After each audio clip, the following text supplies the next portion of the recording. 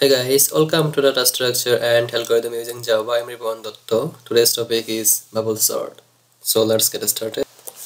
Alright, let's say we have an array of integers.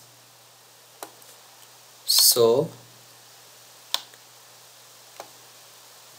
one, two, three, four, and five integers. So first integer is let's say 5 second one 1 then 4 then 2 and finally 8 so this is our array. So first of all this 5 is compared to the next one which is 1 so since uh, 5 is greater than 1 then we have to swap this value. That means then it will be uh, like this 1 and 5 okay? Then I have to check. So in this position all the values are remaining same. That means 2 8 okay. Then you can see 5 and 4 then we have to compare this value. Since 5 is greater than 4 then we have to swap this value 4 and 5 then all the other values are remaining same. Alright then you can see 5 and 2 so 5 is greater than 2 that means 1 4 2 5 and 8 then you can see 5 and 8 this is already in order so we don't need to swap this value anymore. So this is our first pass in the second pass we have to compare this value again. That means 1 with 4 which is okay. So this is 4 then we have to compare 4 with 2 so 2 is less than 4 so it will be swapped 4 then we have to compare 4 with 5 which is okay. Then 5 with 8 which is also okay. In this case I'm done. All the uh, compare in a single row but in previous I have done in three step then this is actually second pass. Second time I compare the values. Third time can so in the third time can compare 1 with 2 this is okay. 2 with 4 which is also okay. Then 5 with 8 which is also okay. Now our array is sorted as you can see. First I compared first value which is this one with the rest of the value with the next value. And similarly this value with the next one and so on. Then secondly now let's get started with Eclipse. Right file new project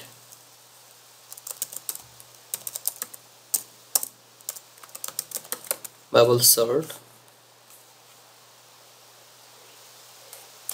okay. Then take a class let's say bubble sort tick mark main menu main method.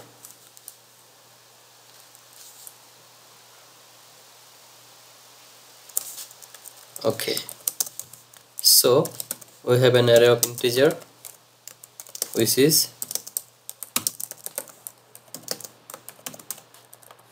5 1 4 2 8 so we need to make a method private static integer b sort or bubble sort as a parameter a okay. So we need to know the size. A dot length. Either you can find the length or you have to uh, you have to take the length as a parameter. Let's say like this way. Either way you can take it okay. Then actually it will be void so um for you can say declare integer or even okay integer i equal 0 to i less than size i plus plus. Then a loop integer j equals 0 to j less than size j plus plus.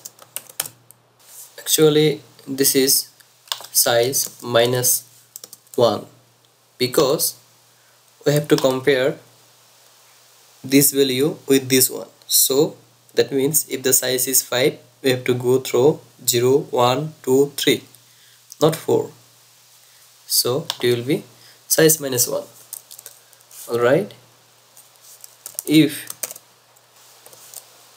a j is greater than a j plus 1 that means next value is less than the previous one then we have to swap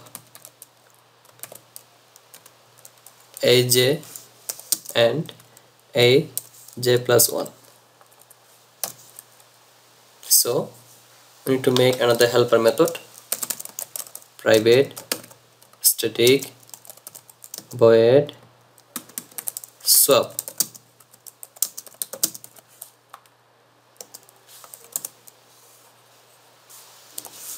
Or simply you can swap it here so we don't need this helper method anymore.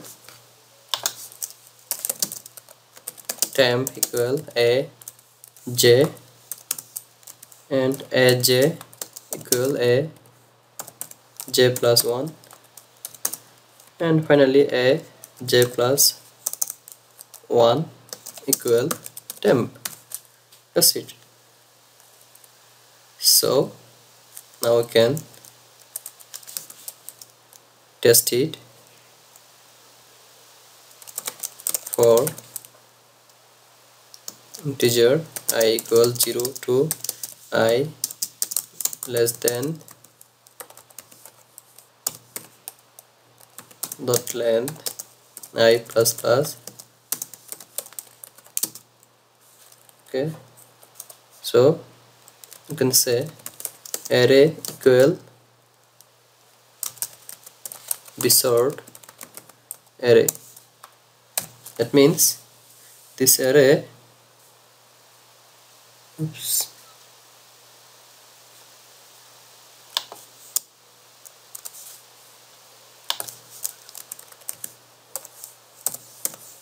array i.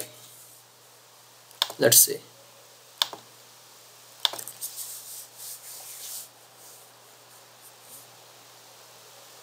yes. 1 2 4 5 8 so in this line this method is sorting the values. So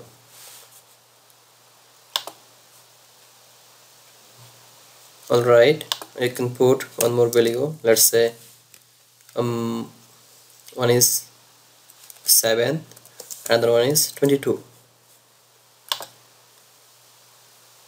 yes. So this is a simple bubble sort. Bubble sort is appropriate in a, a small amount of elements. If the elements is less than 100 then it is appropriate. Otherwise you have to select another sorting algorithm like quick sort merge sort. But if your input array is more than 100 then you have to avoid this bubble sort. Because it will take n square worst case running time. So thank you very much for watching this tutorial. Um, if you like this tutorial don't forget to subscribe this channel and make a positive comment in the comment box. And if possible please share this video. Thank you. See you soon in the next tutorial. Till then bye bye